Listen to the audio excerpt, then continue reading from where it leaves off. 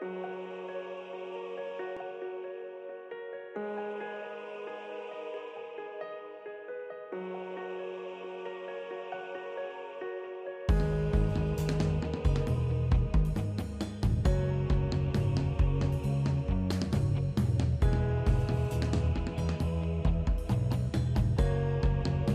has a son named Solomon.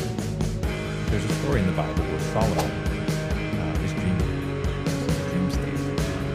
and he says, God says to Solomon, anything that you want, I will give you. You want wealth, I'll give you wealth. You want You want kingdoms, I'll give you kingdoms. Tell me whatever it is that you want, I'll give you. And Solomon didn't ask for riches. He didn't ask for. He asked for one thing. He said, give me wisdom. And God gave him wisdom. After that, the riches came, the kingdoms came, and every other thing that comes with it. Well, as I read that, I sat there and I was like, God, give me wisdom.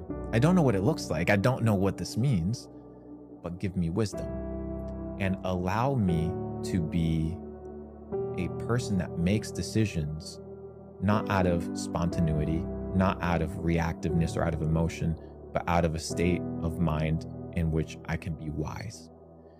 And from that, everything else will come. So, my relationship with God is now a pursuit of truth and a pursuit of wisdom.